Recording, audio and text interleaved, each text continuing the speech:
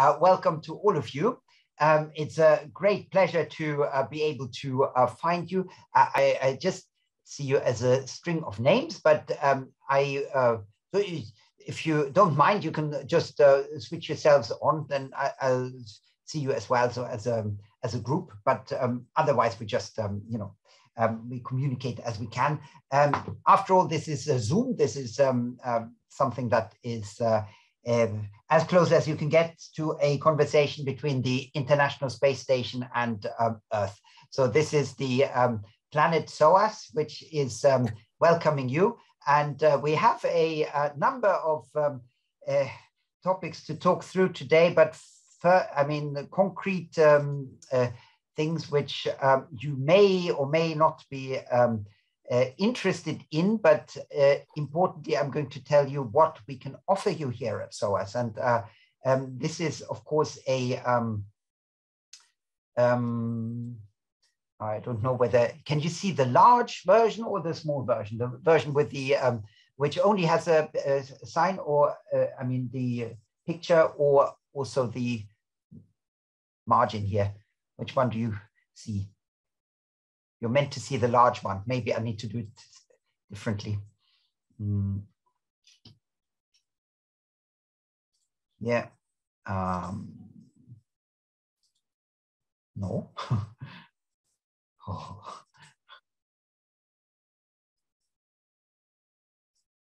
I close it and then I'll open it again. So it's the, um, this I take over here we are technologically so advanced. Um, we are masters of this art.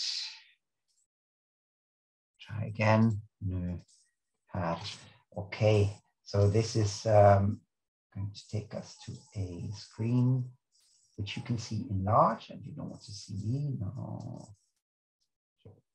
Okay. So now you should be able to see um, the um, the screen as a large, uh, enlarged version, and you can see this fantastically crafted um, uh, welcome sign, which uh, my colleague Roy Fischel has, um, who's, um, who's, the convener of the BA program here at SOAS in History, and uh, whose details you can see down here. So the, his name and also the email address, and the email address has his initials and a number, because we like numbering things here at SOAS um, as a student, you will only get the number. That's very nice as well. So um, uh, we want to not persuade you to study history at SOAS, uh, but we'll just explain to you what uh, so, uh, studying history is like at a college, which is quite um, unique. And you can see this uniqueness uh, already on the, the welcome page, um, because for a uh, university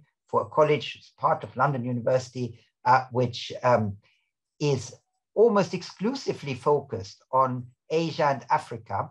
Um, there is really no equivalent anywhere in um, neither in Britain nor in well in Europe. You have two or three places which are quite similar. Um, in the wider world, you have a, a few faculties which uh, do something similar, but uh, it's a small relatively small circle of colleges which uh, fulfill this function.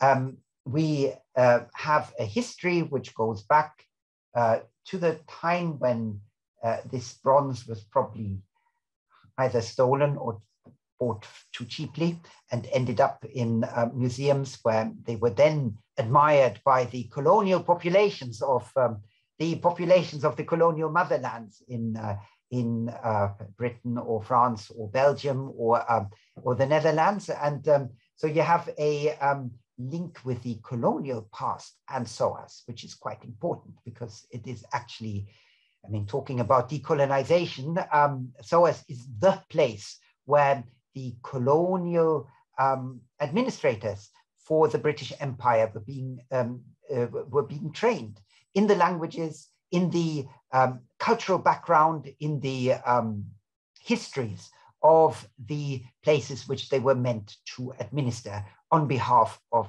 Her Britannic Majesty. And um, this takes you to um, Africa.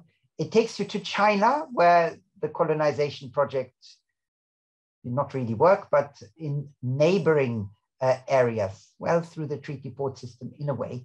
Um, in neighboring areas, definitely. South uh, Asian continent has a number of uh, uh, places where the colonial era left a direct imprint, but this one actually takes you to another empire which uh, was existed before Mughal Empire. So you have a whole range of uh, um, areas which are which were being taught at SOAS as a colonial institution and which are being taught now as a very decolonized institution. And the decolonizing exercise is something that we, since I joined SOAS, have been taking very seriously because um, uh, the essential difference between us and most other universities teaching India, for example, is that we uh, place the emphasis on uh, the uh, well, the indigenous agencies. So you, we look at the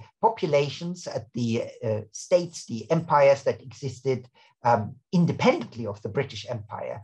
If you study um, India at any of our other colleges, um, you, you, you will usually do it through the prism of the uh, occupying, of the colonizing uh, force. And use their literature, use their impressions, and um, get a picture which is altogether very different. So this is uh, what uh, uh, we take pride in, and it is not out of ideological reasons, because really out of professional ones and um, uh, academic um, reasonings. And uh, this puts the emphasis on indigenous languages, languages that are spoken by the indigenous populations of the places that we teach.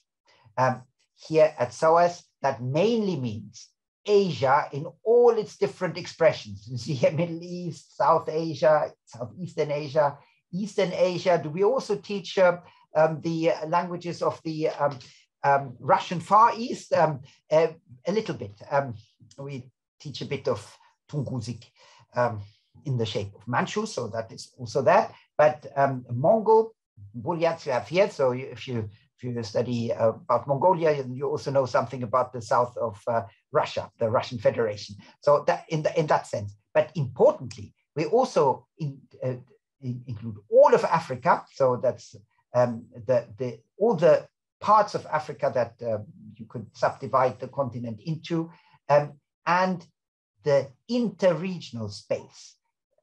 For example, the what you can call, so often called misnomed as the Islamic world, but the world that had contacts from the very beginning of civilizations, Egyptian civilization, um, um, the, the uh, Indus Valley, Oxus, um, the, the uh, Fertile Crescent, all of that is interconnected from the very beginnings. Do we teach the very beginnings? Uh, well, we used to teach them. For the time being, we're a bit weak on them, but um, they are always there. They're always in our mind. And the important thing is that um, you, you need to realize as a historian that everything is interconnected um, or everything is local history. And people are not aware of the wider world, but still through trade, through conquest as well, through migration, you get a degree of um, uh, assimilation, which is um, there from um, the very first uh, uh, evidence that exists of civilizations and that take us actually into the uh, sphere of um, archaeology. Do we teach um, Europe? Um, usually we say no, but we do because Europe is enmeshed into the um, uh, histories of Africa and Asia from again the very very beginning and uh, the more you study Europe, you actually realize, uh, especially Europe's early history, is that it's very marginal. It's um, it's a, um, a non-entity. It's uh, something that also develops, but uh, at a much slower pace and uh, differently from uh, the high civilizations that we um, uh, th that we teach here at SOAS. So the Indian civilizations, Eastern Asian ones, China, um, and um, Africa. You know the West African kingdoms um, outshone uh, what you could get in Europe easily. And the first major exception is the Roman Empire, but the Roman Empire also passes. And then what you get afterwards is fragmented and it's not very influential in any way. Um, but we do teach it. For example, in the uh, in the um, context of the um, Crusades, and Crusades are of course a um, a very controversial um, period in time, and the, the the reason why this is is because it is off they are often read against the background of the uh, the present, and um, we have a fixation on uh, certain spaces, certain places. Um, let's call it the Holy Land. That's, and the center of the Holy Land is uh, Jerusalem. Mm? And Jerusalem is very much the center of the of Christian Europe, both Catholic and the, um, the um, Orthodox halves. And it's also the center of the beginning Islamic world. And of course, for Judaism, it is the center. It is uh, there, there's no other center than the center. So you have the, these uh, overlapping uh, interpretations of the same space. And we're trying to get this across in our teaching. And whatever combination you end up with, um, if you study, if you're particularly interested in the Middle East, say, and you're studying uh, development studies, you're studying Israeli studies, you're studying, uh, you know, you can study uh, any of the languages that uh, is, is being spoken there with history, then this plurality, plurality I can't speak, uh, comes through again and again. The same goes for the um, development of uh, Islam in uh, uh Middle East, in the uh, areas where, where it established itself as the uh, predominant religious and social order, and um, the um, function in history courses would always be uh, how is that connected to the reorganization of social life? Uh, what, what, do, what is the role between majorities and minorities? Uh, how do rulers, how do um, the um, uh, dynasties which are built on certain uh, religious principles, how do they actually get across the um, uh, the fact that they are the rulers over a, um, I would say plurality, plurality doesn't come out of my mouth, plurality of, of populations. How, how do they rule over multiple populations, multiple, better. Um, so uh, this is um, th this is one of the um, uh, phenomena that we can follow again and again through history. And the Mughal Empire, I mean, Roy can tell you much more about that, is, is a prime example. You know, you have Hindus, you have um, you, you, you, have Muslims, you have an expanding Muslim population. You also have other religious groups, and they are uh, under the same rule. And at the same time, they begin to um, uh, extend into a um, into uh, areas where they were never at home. For example, in into the center of uh, southern Russia. Um, now a major majority uh, religion. Um, what about China? China, far away, really? No. to say, I mean, this is a bit of hearsay, but you say the second oldest mosque in the world is built in Guangzhou. Um, why? Because there were uh, trade connections that had established a an Arabic speaking, um, Aramaic speaking uh, population in uh, cities of southern China. And it's from there that Islam spreads almost simultaneously with the Middle East. So ma many things that you think you know, you have to unlearn in order to learn them new. This is no more so uh, true so uh, for, than for uh, Central Asia. And of course, in Central Asia, you have uh, a variety of um, um, systems which are government systems which are either described as tribal, uh, usually in the uh, colonial literature, or uh, as uh, established states. And um, uh, think of the kingdom of Afghanistan, and of course you have a king, yes. But there are also other entities, and these entities are uh, very well established and they're very well ruled. And the only re reason that why you could call them as a refer to them as a uh, tribe is because um, there are certain principles which um, are which um, govern them, which uh, link the families together in a stronger way than state institutions do. And it's uh, th this is one of the things that we study, and we study them from the, the, bottom up. So from using archives, using um, uh, of course, translations of, uh, of primary sources that come from this time, we get a much better understanding, much more nuanced understanding of the, uh, uh, the, the, way that populations relate to each other and that different cl classes and groups within these populations uh, do the same. So, and um, this is true for the, um, uh, for, for civilizations at any level of development. And if you believe in different um, uh, levels of development, then uh, you can say from the primitive stage up to the most civilized stage. But of course, I would like you to empty your head and to think again, uh, just, you know, what does it mean to be civilized and so on. So this is an example from uh, uh, Hanoi. Um, this is not how people in Hanoi live, but it's, um, it's an open air museum uh, which has a longhouse from a Hmong, Hmong area, so from a Miao area. Um, if you're um, a little bit at home in Southeast Asia, you will know that apart from the big dominating um, dominant um, populations you have like the Han or the, the, the Kinh, so the, the Chinese and the, uh, the Vietnamese, you get you get many, many minorities who together actually make a majority, but um, they, they are fragmented. And this is one of these uh, minorities. Um, this is another minority um, dressed up in uh, drag, yes, in very um, colorful clothes, um, a shaman, and it's a modern day shaman.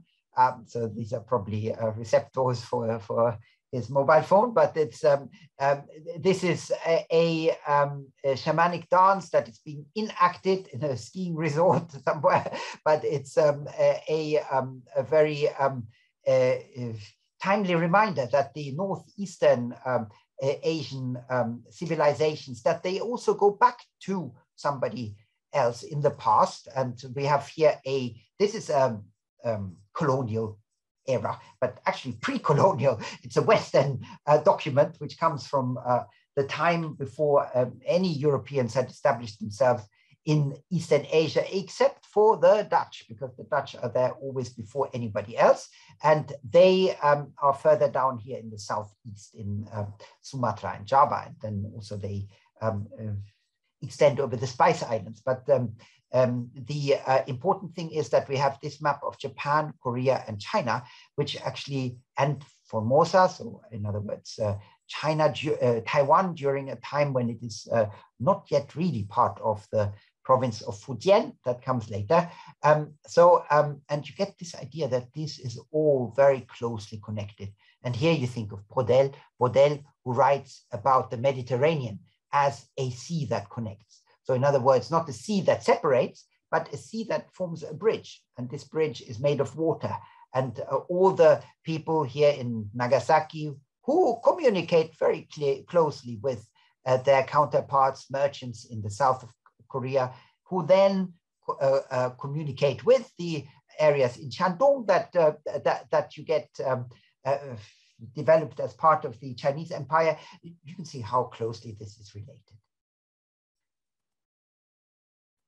Earlier on, I showed you a Manchu. This is um, a Manchu script here. Um, this is the gate of the, the, the great Qing, uh, Da Qingmen. So this is uh, from uh, Shenyang, Shenyang, the second capital of the uh, uh, the, the, the, Qing Empire. Um, uh, did you know that it had two capitals? most people don't.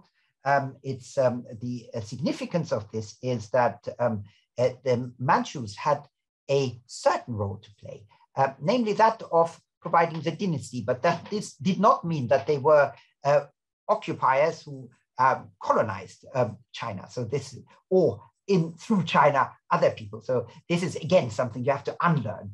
Um, now you have Xinjiang in the news.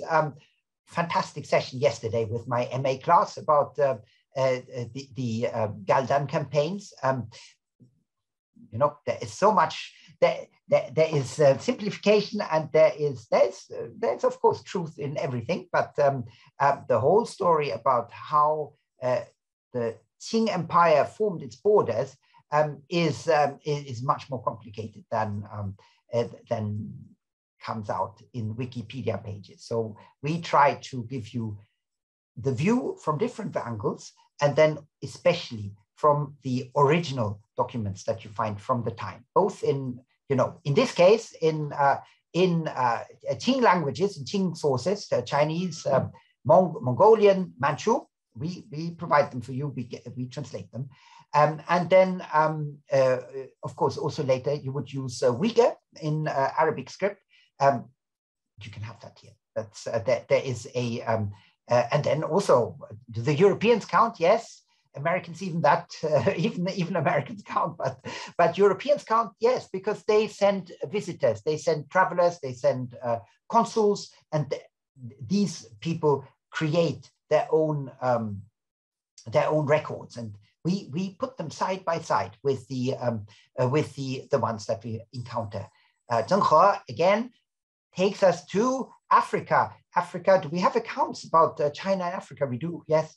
And it's um, uh, we uh, and vice versa. So we have um, a um, a number of um, uh, really interesting um, accounts that I have sitting here on my um, on my bookshelf from early journeys from Eastern Asia into Africa, and uh, and with depictions of giraffes and so on. So this is a uh, something that you certainly uh, can study here if you're interested. And how you study these things here, Myanmar, Rohingya. Huh? Just read this morning that there was plenty of traffic between um, Burma and India.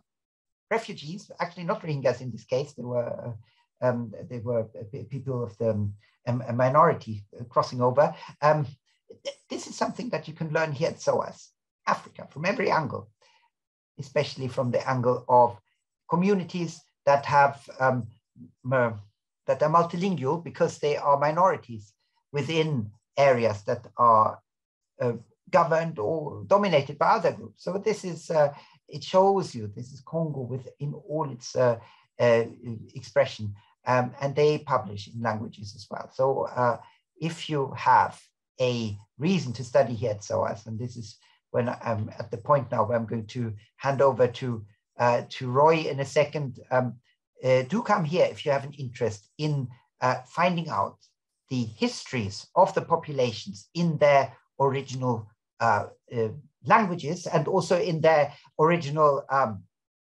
interpretations, namely that of the states that they form and the archives that they collect. Um, and if it's oral history, if it's non-written languages, that can also be explored. So be imaginative. We will help you with that. Um, if you're a slightly older student, you will be feeling very happy here at SOAS because uh, we have a high proportion of mature uh, students. Again, if you're not from England, or if your parents are not from England, you'll feel like a fish in water. Um, uh, and then also the library which is the last thing that I refer to. Um, um, it's uh, one of the most complete collections of non-Western um, holdings, non-Western uh, origins. Um, so China, Africa, um, sorry, Asia, Africa, and um, uh, and quite, quite, a number of uh, uh, languages that you wouldn't expect here. we have them, and we have them because this is one of the um, uh, libraries that are receive a grant from the British government, have been receiving a grant for forever, uh, in order to keep a complete collection over the world for the British Empire, later for the spies who were being trained here at SOAS, and um, in the Cold War, and today for you who are going to be studying here at SOAS, because uh, you are the future and you deserve the best and we will give you the best both in our library and our in our teaching. And Roy will tell you now how we teach here at SOAS. Um, thank you, Lars, and I'll ask you when to uh, change slides for me, please. Okay, okay. um, so after the very exciting presentation of Lars, we'll have to get a little bit more, more to the boring bit of structure of programs although quite important, I would say. Less inspired, maybe, though. Uh, although before that, I just want a quick addition to uh, something that Lars said about the depiction, Chinese depiction of giraffes. Interestingly enough, we have from late 15th century a temple in South India with uh, giraffes engraved on it. Uh, it's it's not it's not a temple. It's actually a performative uh, platform. So it's something aimed at display to the people. And this is part of those kind of trans Indian Ocean links that connected East Africa with India, with Southeast Asia, and later um, China. So, how are we going to approach this massive part of the world that we are covering? We are covering about 80%, 75% of the human race at SOAS is our emphasis and not as the periphery. And this is one of the things that make us so unique. Um, I'm going to present briefly the BA history as a single subject, and later I'll make a few comments about a BA history as a joint degree with another program. Uh, we have a few, quite a few students on each uh, track, and just for you to have a basic idea. So our idea here is to introduce you into first of all, history as a discipline, as a method and a way to investigate the past. It can be a remote past, it can be very recent past, but as a discipline, analytical discipline that gives you these wonderful tools of analysis and then of argumentation. And in that sense, history is really a terrific degree to have. It helps you develop these kind of uh, aspects which are not only great for you uh, for your future as people, but also more particularly uh, for the job market. Um, for example, and that's one of the interesting connections that we have, we have quite a few students who go on afterwards to do law. And they say afterwards that the skills that they learned in history, especially around evidence, argumentation, presenting their ideas in a very clear way, came in handy. So we are going to cover this kind of methodological um, um, aspects of the discipline.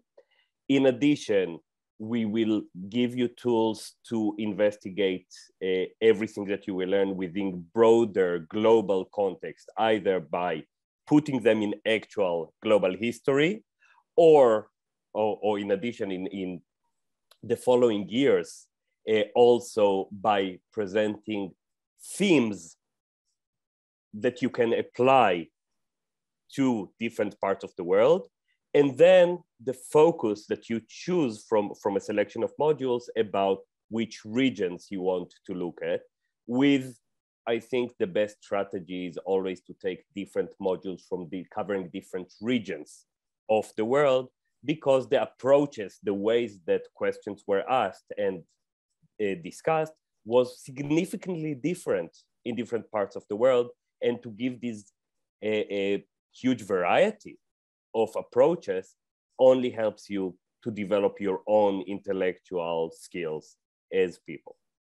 So according to those three main objectives of the degree, we have constructed the three years. The first year, you will have two core modules in term one, uh, approaching history that uh, both Lars and myself are teaching this year uh, in which we exactly start thinking about what is history as a discipline and how different it is from anything that you may have learned at A levels or in whatever school setting that you have. So taking away from the list of dynasties and something very rigid in, rigid in terms of the way that you articulate the answers to allow you develop your own flexible approach and to understand the depth and the uh, complexity of this wonderful, wonderful discipline. Of course, I will say it's wonderful because I cho uh, chose to do this for my life, my livelihood, hopefully until retirement. But I do think that we can agree, generally speaking, that history is very interesting. I guess that otherwise you wouldn't have been here with us today. The second term of the same core aspect we are looking in particular at the question of colonial historiography in relation to SOAS as an institution. So taking SOAS as a case study, we look at the way that history is related to the environment in which it is written. So we are looking at SOAS as an institution that started as training civil servants for colonial purposes and changed tremendously since. It was the first institution that actually taught seriously uh, African languages in the West. It was one of the first places in which the a non-theological approach to languages like Arabic or Hebrew was, um, was practiced. So we have our own complex history as a very interesting tool to start thinking about how history has been written and how much it represents the presence, the various presents in which history was written, and not only the past. So this covers this kind of methodological aspect. In addition, you will learn world histories, which is a very SOAS version of global history, very much in continuation of what Lars presented earlier. It's trying to understand the world not as a product of European kind of project of thinking, but a much more complex system in which Asian and African societies and civilization played a huge role. And then the Europeans arrived at one point. And even when the, the European arrived, it's not as if the whole world changed to become European dominated realms in which Africa and Asia are completely mute, not at all. So for us, if we look at the British Empire, it's the empire as was perceived not only in the government offices in Whitehall in London, but also the way it was experienced in places like Lagos or Cape Town or Nairobi or Bombay, or even in places that were not directly ruled by the British Empire, like, let's say, Shanghai, right? So we have our own take of global uh, history in which Europe is considered, but in its right place as kind of the less fashionable parts of Eurasia, very damp, very, um, I mean, I'm looking outside the window now and seeing this gray cloud. Not the most fun part of Eurasia, I have to say. Then you can select from regional introductions. So we will look at the list of modules uh, uh, in a bit.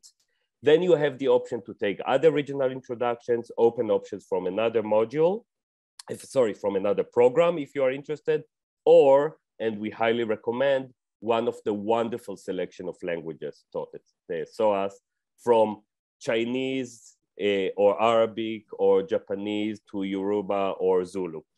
So we have a really unique selection of, sort, uh, of, of languages. Second year, we have the same logic uh, behind it, but it's slightly different. You will continue uh, with historical research and the, the methodological aspect to which will be attached a first attempt of yours to create a research program, a, a project, um, not a very small one, but not yet fully independent. In terms of the global perspectives, here we will focus on themes, thematic modules. We will see the list in a second. And then more regional, more specific focus module, and then you can continue with the language or open option or other modules from our program. The third year, uh, you have the special subject as your core, which is an, an interesting combination. There is a lot of focusing on uh, particular cases, but again, as part of training for you to write your independent research. And this is, I think, the crowning uh, or the, crown, the, the, the, the jewel in the crown of your degree is writing your own dissertation. An independent study, 10,000 words, the results that we have seen in previous years are remarkable. Really, our students write such wonderfully original and in-depth studies of the, the program. And then you have a few more modules to choose from. Lars, will you please? So another way to look at it uh, is broken, the first year in particular, broken to the core, which is the more methodological aspect, the world, the, the way with we look at global approaches, and then the regional options. that you can see, I think that we have a, a list later. So please continue, Lars. Um, BA history end is of course half of the aspect that you need to, to more or less half in history and half in the other program. It's a bit more flexible. When it is relevant, we can discuss it more, which includes the core modules because you'll have to deal with the discipline and then you can look at either the global or regional introductions, the methodological uh, historical research in second year, again, to continue with the disciplinary aspects and the, the methodological aspect, and then both thematic and regional uh, focused and you'll have to take the special subject as a core, but then you have the option whether to write a dissertation with us or not. Lars, please continue. Another way to present exactly the same table for the first year. So the core and that, yeah, and continue, Lars.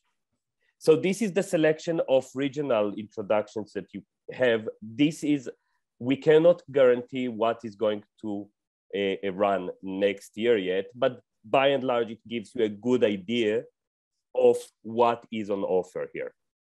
So term one, you can choose from the introduction to history of Africa, the Confucian world, which is a early history of East and Southeast Asia, and the introduction of the early history of the Middle East. The second term, we have the history of the middle, modern Middle East in the world, sorry, Middle East in the modern world. Uh, again, you see that we are doing it in a very SOAS way of not only looking at the region, but to understand how the work functions in a global context. Then we have the option of the history of South Asia, which is my own field, and the introduction of the history uh, to the history of modern East and Southeast Asia, which is taught by Lars this year, right? Can you continue? Uh, for the second year, we talked about the, the historical uh, research methods and the project attached to it, and then the thematic and the regional modules. Uh, Lars, please continue. Uh, here is a good example of what we are teaching. Again, we cannot promise at this point that all of them will run when you are students, but it just to give you a taste of what kind of modules. Some of them run uh, in uh, alternating years. So my own modules, um, which is the State and Society in Mughal India and Empire and Globalization in the Early Modern Muslim World run one each year. So if you are really interested in that, you can catch theoretically, if this continues, the pattern, one of them in your second year and the other in your third year. The same with um, uh, colonialism and culture in modern South Asia and uh, nationalism and identity in South Asia. So there are separate modules that run in alternating years. So I mentioned the thematic modules. For now, we, we define the, those four as uh, important themes that might interest you. It's cities, uh, frontiers, gender, and violence again as categories of historical investigation that manifested themselves in different ways in different contexts.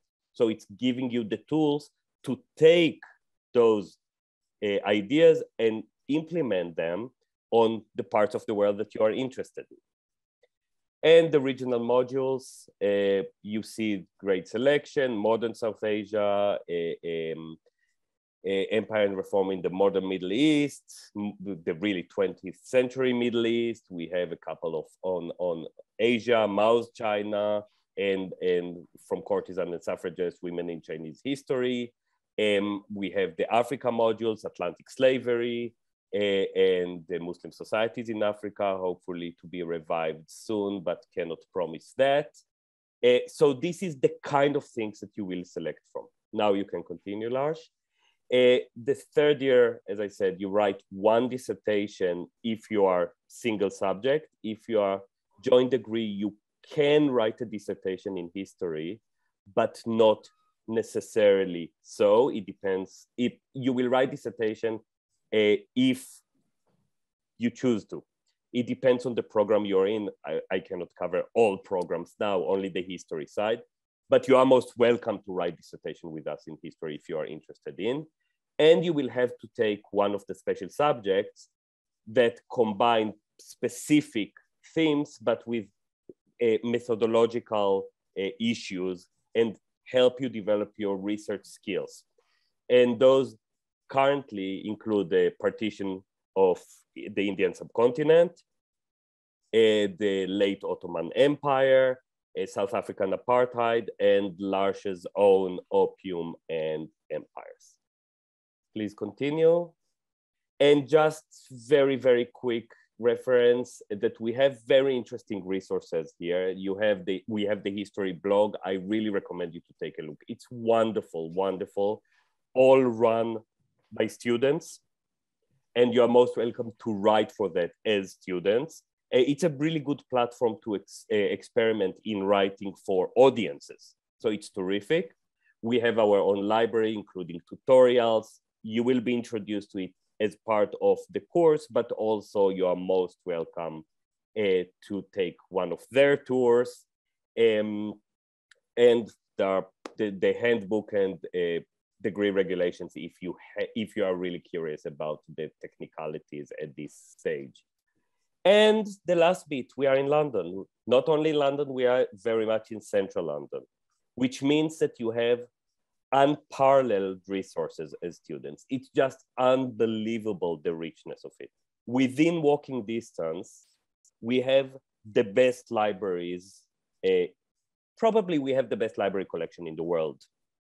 So we have the British Library, the second largest collection of all libraries in the world after the Library of Congress, I think, which is the, the, the American equivalent for the British Library. It is about 13 minutes walk from SOAS. As students, you can get easily access to their collections. You have access to collections of all other University of London colleges. So if you're interested in economic history, you can go to LSE. If you need, or London School of Economics. If you need uh, for, for some study, uh, more European centered so, uh, resources that we happen not to have at SOAS, you can go to Senate House Library, which is literally three minutes from SOAS, or to our neighboring colleges like UCL, you can have access to all of this. And we have the museums and we have everything because London in that sense is amazing. I think that I'll finish here. And I guess that now it's time for questions from the audience to Lars or to myself. Thank you.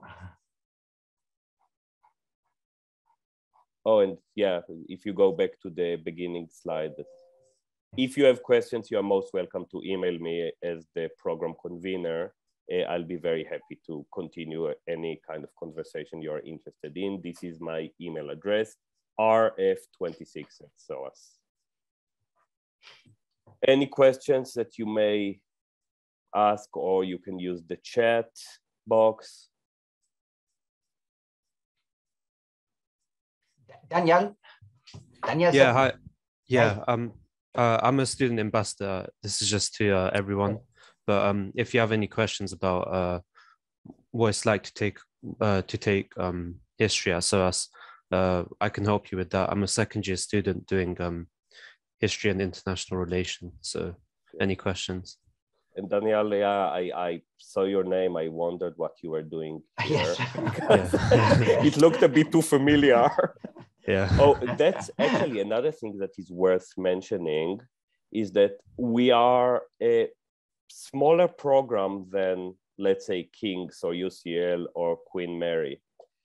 And there is one advantage that many students don't think about it. And daniel i really hope that you feel the same about yeah. that that we are very accessible. Yeah definitely yeah we talk to our students, we encourage our students to talk to us and not to teaching assistants, but to us, the full academic staff. Yeah. And, and we really try to develop this kind of relationship that I think that it's wonderful for us for sure. I think that it's pretty good for students. You, you never feel that you are alone, or at least you have so many ways to make sure that you are not alone in this, in your degree you have quite a lot of support from us. Yeah. Um, Lars, will you take Ubaid's question?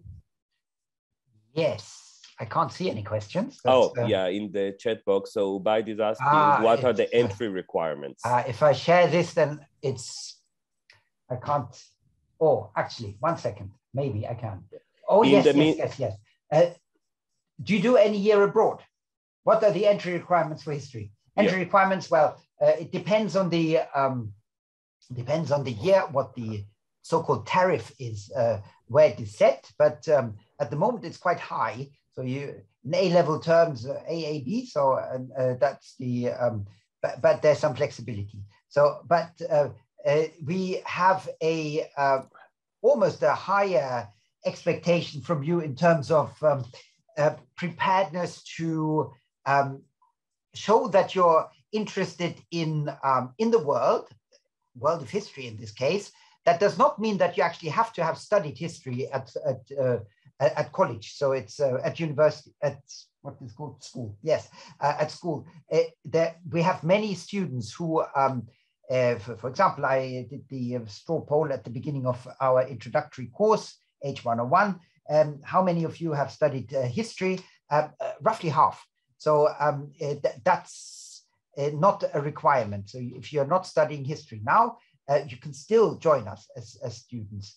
And then uh, what we would like you to do is to consider uh, studying, um, uh, you know, an interest in languages always helps um, when it comes to selecting students. And uh, if you have a, a language that you not necessarily have in your uh, school reports, for example, because your parents speak Bengali at home or, uh, or an African language, then by all means mention that in your um, uh, in the covering letter that we get because th that that is something that will make us um, you know look again at your application um, okay um, shall i continue with the following yeah. questions yeah. so uh, do you do uh, any year abroad um, yes and no the history program at this moment and i emphasizing in this moment does not have a year abroad except for a few people who can apply to Erasmus programs, but we don't know where it stands after pre- uh, Brexit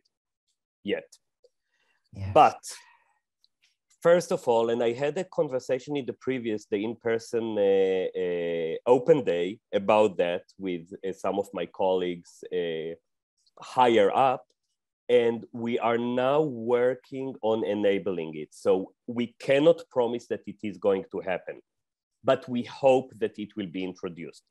At the same time, if you are doing a joint program with one of the languages, then you do have a year abroad. So we do have year abroad for the languages. Mm-hmm. So people who do, let's say, it's kind of popular these days is to do history in Korean. Korean became extremely popular even before the Squid Games. Uh, I suspect that it's K-pop, the popularity of K-pop, or generally speaking, popular culture from Korean that encouraged many people to learn this uh, this language, which is always a wonderful reason, I think. Um, then it's a four degree uh, program with a year in Korea. Mm-hmm. Now, uh, history and international relations is one of the most popular um, combinations. So it's a very well uh, uh, well trodden path, let's say.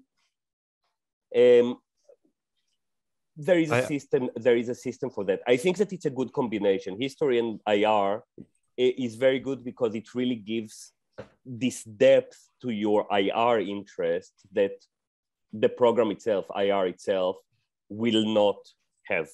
Yes. Just to add on uh oh yeah please. uh yeah because uh, uh i'm doing history and international relations but um a lot of uh the content in international relations, it intertwines with uh, content from history. So, for example, in the first year, we look at um, global history and uh, trends and themes uh, throughout uh, history, basically. And so, a lot of it uh, like interlinks, and it's quite enjoyable overall. Great. No, thanks you, Danielle. That's the experience of student is always way more valuable than ours, I guess, because we can imagine what we are giving, but it might be received in a different. That's a very important yeah. lesson for history, for generally speaking, dealing with history. is that when we look at sources, we assume that what is written there is how the source was received, but those are completely different mm. things. Yeah. Um, how many hours a week is timetable? Uh, asks uh, Marlin. Uh, for non-language degrees is eight hours a week usually if you add language, usually it's many more hours because languages tend to, to occupy more hours exactly because of the particular kind of practice you need. But generally speaking, a module is two hours contacts a week, plus all the work that you need to do. There, there you'll see a very big shift in the way that you do um, the, the way that school is constructed and university is constructed. That this is not a SOAS thing. That's a university thing is that there is much more emphasis on how you learn on your own. So we give you tools but this work is not us feeding you but we help you develop your skills to do it to to to, to study yourselves uh, Lars, will you continue with Ubaid maybe Yes. So th this is, um, I saw that question and I, I the, the, the official entry requirements, they will be fine tuned always when it comes close to admissions. And uh, I mean, the um, UCAS um, uh, procedure when uh, admissions decide who, who, who, will get an offer. Um, it sometimes happens, and there's discussions in that direction certainly going on at the moment, that um, that the general, um, the official entry requirements will be lowered. But I, I can't I can't promise anything, and I can't see anything actually in the uh, um, uh, correspondence that I've received and the uh, uh gossip that I've participated in uh, that this would be happening soon. So we we need to see where we are, and also um, also in the worst case, if you don't get the grade that you're uh, that, that you're out for, you that you can reapply. There's the um, you, you just go through the clearing process and then and then you can then you can write. You know, uh, my uh, grades were lower than expected, but I'm very keen and I I, I have uh, you know uh, lived for five years in uh, Western Africa and I would like to pursue this. Um, you know, we are not robots, so uh, we we do let people in even if the grades are not 100% there. So uh, yeah. it's um, I, again, we we have to see.